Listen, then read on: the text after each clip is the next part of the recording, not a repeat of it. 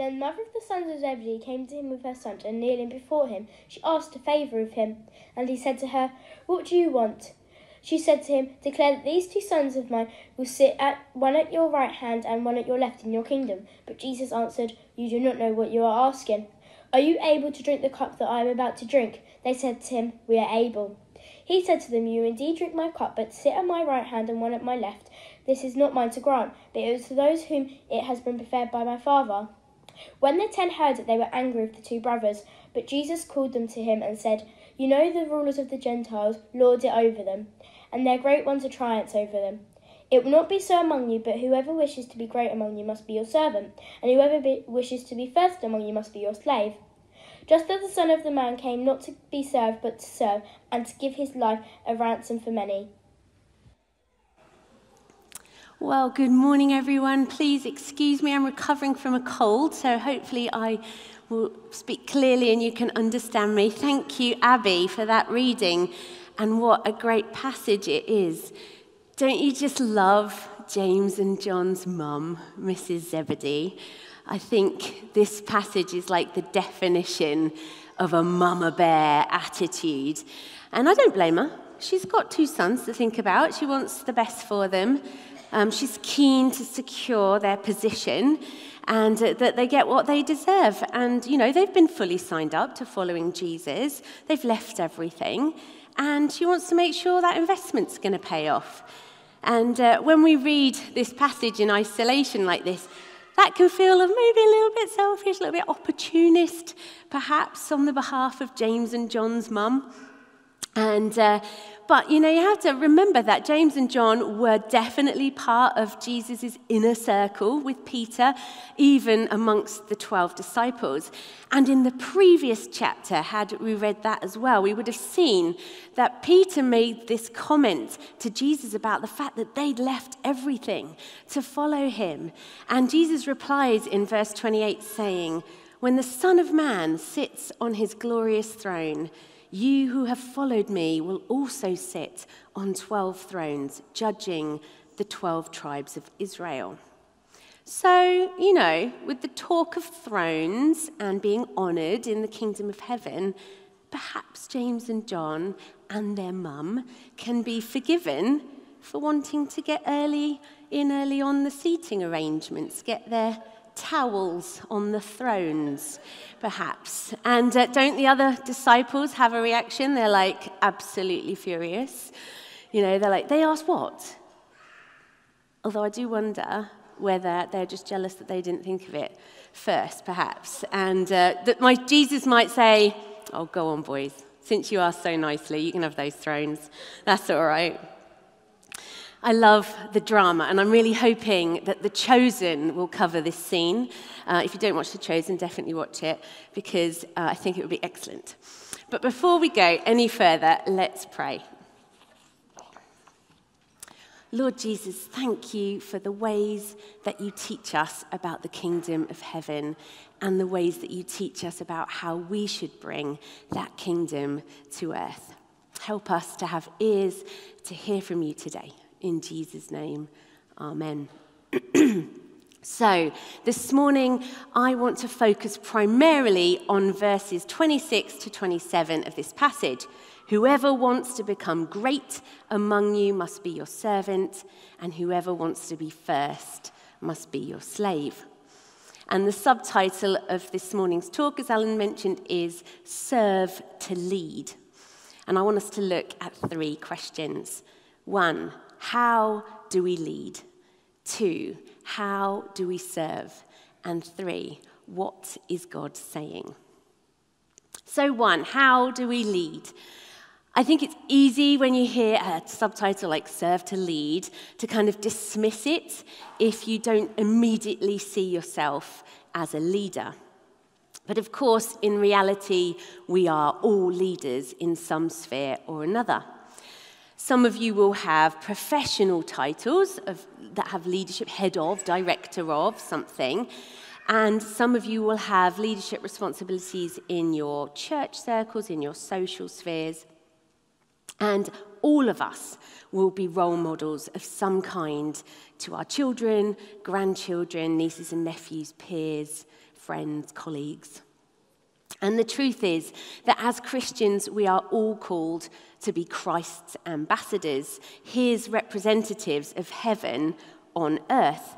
So I'm afraid that none of us get let off the hook when it comes to the label of leader. And I'm pretty sure you've all been in environments when there's one negative person and it impacts everyone. And similarly, I'm sure you've all been in environments where there was a really positive person that impacts everyone. So we have to acknowledge that we are all playing a leading role.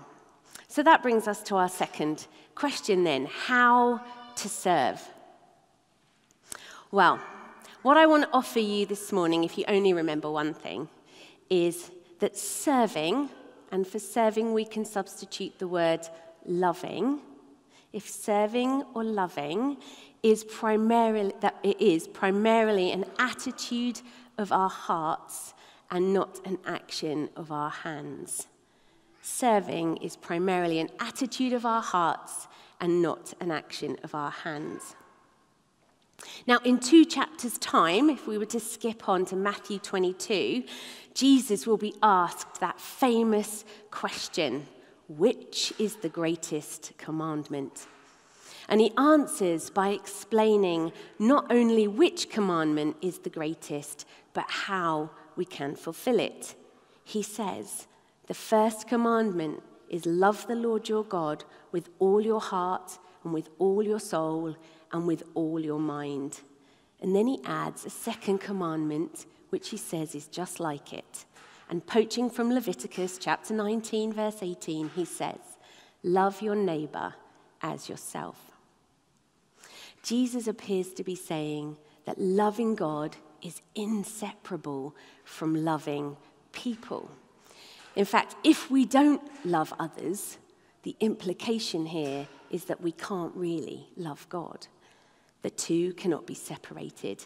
And John himself reiterates this in 1 John 4:20 when he says, "If anyone says he loves God but hates his brother, he is a liar." But how do we love and serve our neighbor as ourselves? Now, before I want to answer that question, I want to add two important caveats. Firstly, this talk is not about abusive relationships. So if someone is behaving abusively towards you, then the priority for you is to be safe and not to focus on how to love and serve them better. So that's caveat one. Caveat two is Jesus does not call us into burnout. So if that's where you're at, then this talk is not about how you should be doing more. And your first focus should be about seeking help to get out of that place of burnout. And it can be cliched and overused, but that image of needing to put on your own oxygen mask before helping others is really worth listening to. But back to our question of how can we love and serve others as ourselves? Of course, we already know the answer to this question, don't we? We need to love, treat, and serve others in exactly the same way as we would like to be loved, treated, and served. And when I first started thinking about this topic, my internal dialogue went, hmm, I spend a lot of time serving other people. Uh, I do this all the time. I do this, and I do this, and I do this. And I felt the Holy Spirit gently convicting me and drawing a distinction between my responsibilities towards the people I have in my life, the caring roles that I have, and the stance we take in our hearts towards all people. So, not just the ones that we have responsibilities for, but everybody else. So, this is our attitude towards all people. And I think sometimes we can water down our understanding or our rationale for loving our neighbour into something much weaker, like being nice. But being nice is neither a fruit of the Spirit nor an instruction in the Bible. Nice is polite, but it is a terrible substitute for kindness, compassion, being forgiving or understanding. There are no shortcuts to loving others, no matter how much we'd like there to be. But I recognize it's not easy. let's face it, sentiments like it's a dog eat dog world, survival of the fittest, someone snapping at my heels, it's every person for themselves. These phrases are part of our everyday language for a reason. They reflect truths about how things tend to go in the world. Last week, Joya spoke about the way that the early Christians lived out community life supporting one another and sharing what they had without the need for layers of hierarchy and with a posture towards giving and serving to one another. And this message from Jesus that we're hearing today and that early church way of living would have been extraordinary to those who witnessed it, so unlike anything they'd experienced before. And you might expect that after 2,000 years of following Jesus under our belts, that Christians would have really nailed this one. And yet, in 21st century, self first, consumerist, materialistic culture, it feels just as alien as ever. So, what is the problem? Is it the structures and the systems of society that need to change? Well, yes, probably, but that's not what Jesus is talking about here. Jesus is giving each of us individual responsibility to position our hearts towards loving and serving others. So that brings us to the third question What might God be saying to each of us today? Well, of course, the short answer to that is I can't possibly know what God is saying to you. But I will say fairly confidently that there won't be one of us listening here or online who hasn't got something to work on. And if you're willing to be honest and to listen, then the Holy Spirit will point out which priority area you should be looking at. But this is where it can get a bit uncomfortable because it requires us to examine the selfish parts of our lives. Every day, we make choices in our lives about what role serving others will take in our decisions.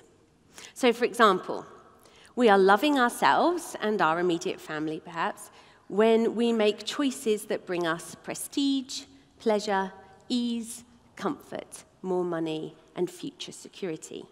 Nothing wrong with those things. And we are loving others outside our immediate family when we make choices that provide goods, services, or opportunities to marginalized people, protection for God's creation, justice and democracy, truth, peace, and kindness.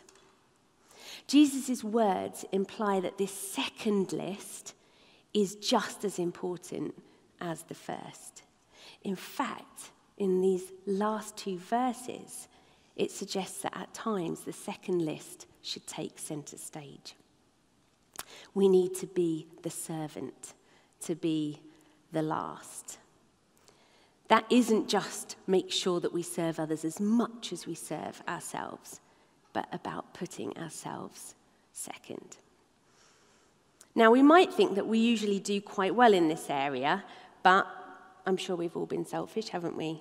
We've seen an opportunity for ourselves or our children, perhaps, to get ahead, jump to the front of the queue, towels on the beds, coats on the chairs, whatever we need to do to secure that thing we want. We might take advantage of someone else's failures at work or in our social circles to help damage their reputation when it could be advantageous to us, for example. But nowhere is the selfish ambition of humankind seen more obnoxiously than on the school run. Now, I don't know if you've done a school run recently, but please don't park here, drive in constant use. Pfft. Double yellow lines, no thanks. Driveways, whatever. gaps so that ambulances and fire engines can get through. Who even cares? Uh, hatchings, that's basically an invitation to park. but don't think that it's just the drivers on the school run. Have you been in the shop? Maybe you've been at Squires. There's a long queue. Someone opens another till. There's four people in front of you, but you're nearest to that till. There you go. I'm over here in front. Sorry, unlucky for you. Anybody, anybody done that? You've been in the coffee shop, you've seen there's one table, there's three people in front of you, you've sent the kids.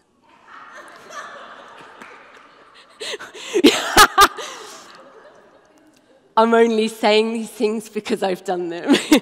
Last weekend I went to Godalming. I got to the car park, there was one space left. It wasn't really big enough for my car but I was really determined. I got the kids out. I said, You're not going to be able to get out the car when I've got in this space. So I do pride myself in being able to park, right? So I'm, I'm backing in, I'm backing in. It's, it is, well, I had to breathe in really hard to get out of the car. And it was only when I was walking away from it that I wondered whether the car next to me, whether it was driver's side or passenger side, because they weren't going to be able to get in that door. Thankfully, it was passenger side. Would I have stayed if it had been driver's side? I might have done. I can't be, I can't be sure. I don't know. I don't know. But, you know, the point is that we all do selfish things. And maybe, you know, in this week, if you catch yourself doing one of those things I've just listed, maybe you'll chuckle to yourself about, about the fact that we do have these selfish traits. But it's not just physical things, is it? So much is what happens in our thoughts and our words. We're quick to judge others, but would expect understanding for ourselves. We're quick to give solutions when we would want someone to listen to the complexities of our situation.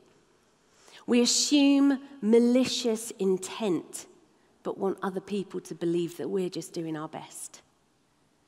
We expect grace and to be let off the hook when we make a mistake, but we hold others accountable to very high standards. Do we sometimes position other human beings as different to us so that we can exclude them from needing our love and concern? Do we look for opportunities to show love, big and small? Hold a door open, pull the neighbour's bin in, do we freely give time, energy, money, commitment to people and places that need it? What does God see when He looks at the orientation of our hearts? Perhaps I can invite the band to come back. There's a phrase Alan sometimes uses, and he used it this morning. He invites us to allow the Holy Spirit to roam our hearts. That image makes me think about the cupboard under the stairs, or the loft, or that drawer, or the shed where we shove things so that we can't see them. What does it mean to give God free rein in our hearts? To tell Him that there's nothing in our lives that's out of bounds for Him to see or speak to us about. It brings a new dimension and new possibilities to our relationship with Him. The Holy Spirit starts to move freely in our lives when we take every decision to Him first, both the ones where we serve and love others and the ones where we serve and love ourselves. We become more in tune to living life in alignment with the ways of Jesus. And sometimes the hardest place for us to show love or serve the needs of others is in our closest relationships, particularly our spouses. And that might be something that God is drawing your attention to. Whatever it is, we know we can take it to Him. And He will make our path straight because that's what He promises to do when we submit all our ways to Him. If you're able, would you please stand? Sorry. Maybe today you feel like you're on top of all these things and you're doing well at loving and serving others. But if God is nudging you about anything at all and you would appreciate prayer, then please ask for it from myself or Alan. We'd be honoured to pray for you or ask someone else you feel comfortable with. Let's just pray to close. Father God, thank you that there isn't a corner of our lives that you don't already know about. Thank you that you understand every layer of complexity that we have to deal with. You see every aspect of our pasts that have shaped our present. We invite you this morning to roam our hearts and examine how we love and serve others. Would you help us to be people who lead and influence our families, professional circles, and social circles with love, kindness, compassion, generosity, and forgiveness? Prompt us this week when we reach moments of decision making that impact how we love and serve the needs of others. Help us not to simply prioritize ourselves. Thank you, God, that there is no situation that is too difficult for you to make a way through. In Jesus' name, Amen.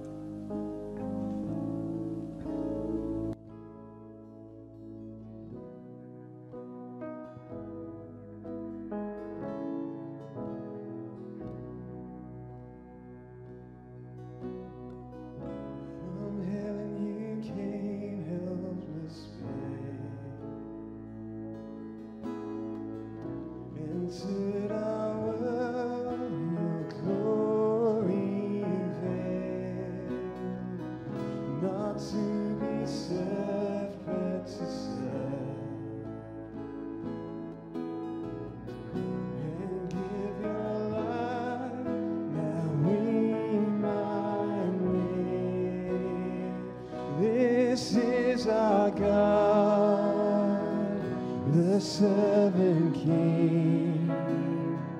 He calls us now.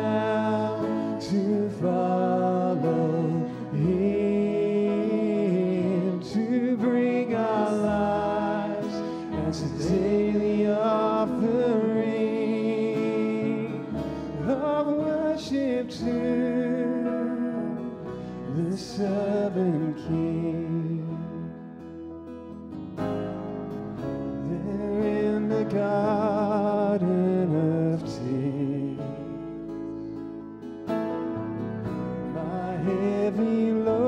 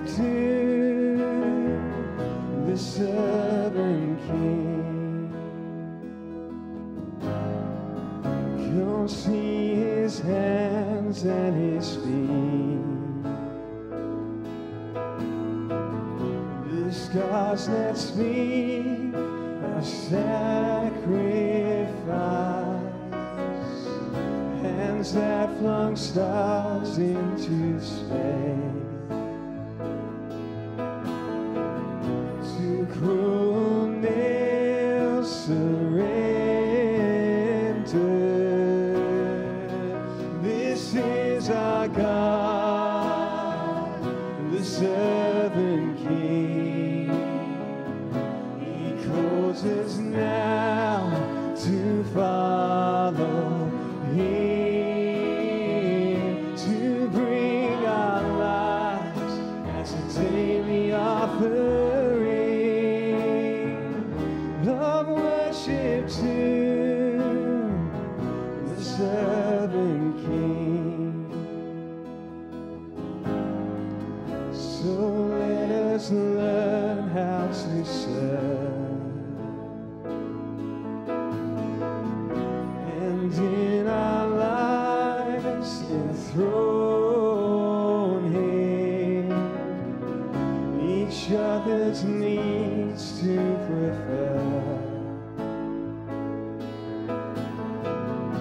for it is Christ with serves.